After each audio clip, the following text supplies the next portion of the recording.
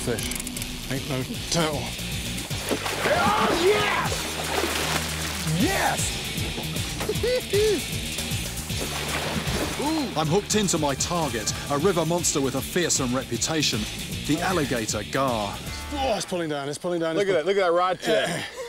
Let's get him up, let's get him up. After fishing for 12 hours straight, just as dusk turns to night, I set my eyes on the giant fish.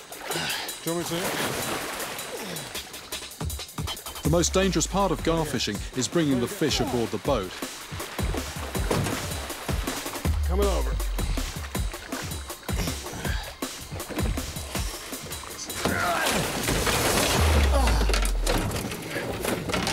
Oh, there we go. That's what we wanted.